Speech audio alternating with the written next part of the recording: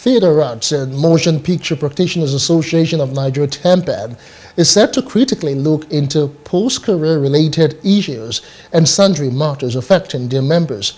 Now, this is according to Bolaji Amusan, TAMPAN chairman, during a press briefing towards the fifth edition of CONNAF, a themed film as a tangible asset.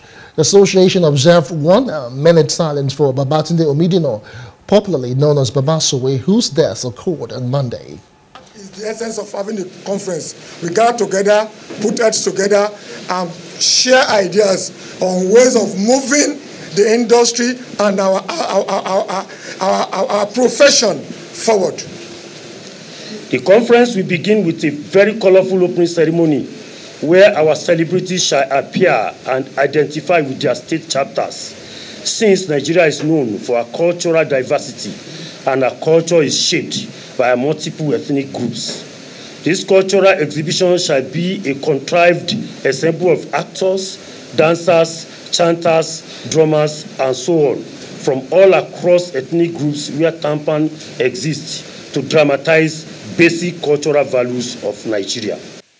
Hello. Hope you enjoyed the news. Please do subscribe to our YouTube channel and don't forget to hit the notification button so you get notified about fresh news updates.